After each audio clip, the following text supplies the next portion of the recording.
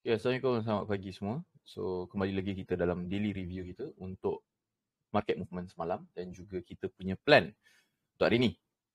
Okay, so semalam uh, ada bagi sell, ada bagi buy tetapi direction dia masih lagi buy.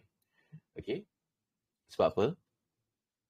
Semalam akhirnya kawasan yang kita dah pun uh, tanda before that okay, uh, untuk first kita punya review tu dah pun dipecahkan. Okey, ketika sebagi sel kita hit SL. Okey, uh, sebagi sel dekat area sinilah tak silap saya.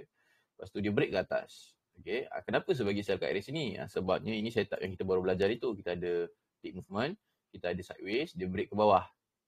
Jadi, price masuk, saya bagi sell lah.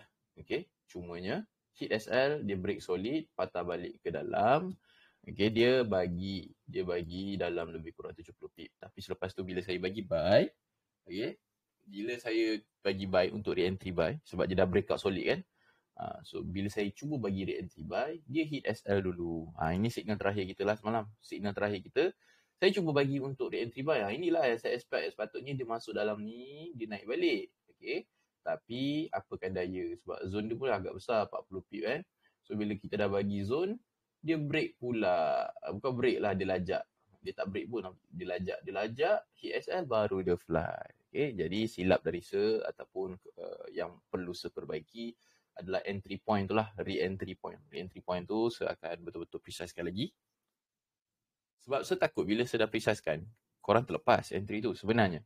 Sebenarnya secara peribadi, bila saya precisekan zone, saya takut terlepas.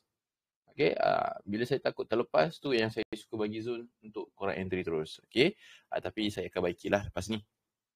Okay. Jadi rancangan kita, kita punya daily plan kita masih lagi sama disebabkan benda ni dah break up. Eh, kalau korang nampak, disebabkan benda ni dah break up.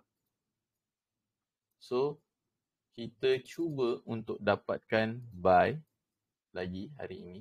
Okay. Untuk sampai di area sini lah at least.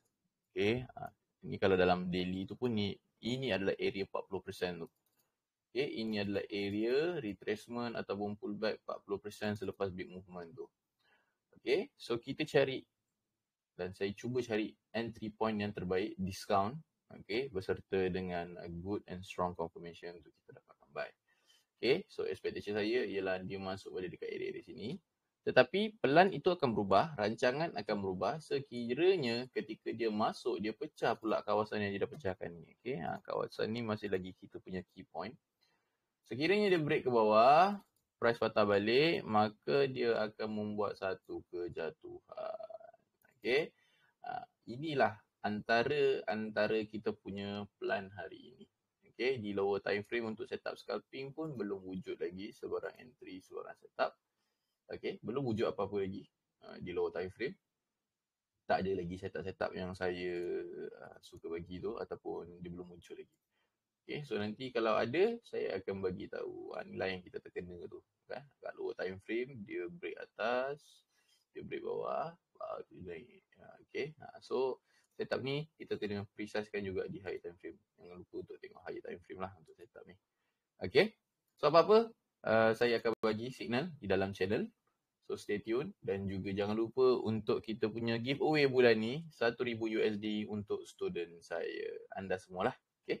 So itu saja daripada saya. Assalamualaikum dan selamat bekerja semua.